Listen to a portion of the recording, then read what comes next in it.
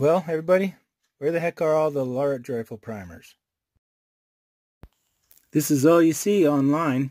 So it used to be you couldn't get any small rifle primers or, you know, when you were loading for 5.56 a few years ago, you couldn't find anything anywhere. And now it seems like there's plenty of them around. But you can't get large rifle primers for nothing. I mean, well, they're something. They're expensive, especially if you go on Gunbroker. But um, I don't know if you guys think that there's something going on or if you know anything. Yeah, I sure would appreciate it if you could pass it on. So, anyway, why don't you join me in a cup of coffee and subscribe to Montana Musings Outdoor channel. Have a good one.